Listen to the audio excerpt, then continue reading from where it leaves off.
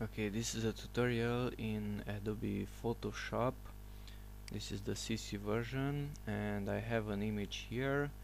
I will drag and drop this image into Photoshop and notice that all of these buttons are unusable and if I go to layer up here everything is grayed out and a new layer cannot be created okay and to solve this problem to use layers let's go to image mode and set it from indexed color to RGB color. So set it to RGB here at image mode and RGB color.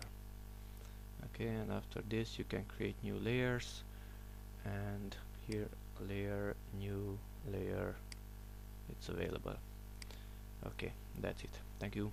Bye bye